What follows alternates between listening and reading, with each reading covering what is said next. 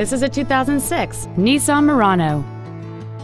It has a 3.5 liter six cylinder engine, an automatic transmission, and all wheel drive.